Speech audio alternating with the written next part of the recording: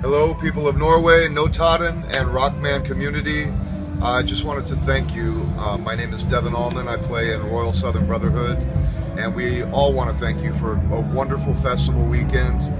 Really great. We want to thank all the artists that sat in with us uh, Delbert McClinton, Pristine, uh, Reidar. Uh, we really had an amazing time. This is my favorite festival in all of Europe. It's the best, and I hope that we get to come back. Uh, a lot of people have been asking about my dad. Uh, he's doing great. He's he's home. He's healing up. We're trying to get him here next year. We'll see what happens. Uh, either way, keep the blues alive, and we love you. Thanks for having us.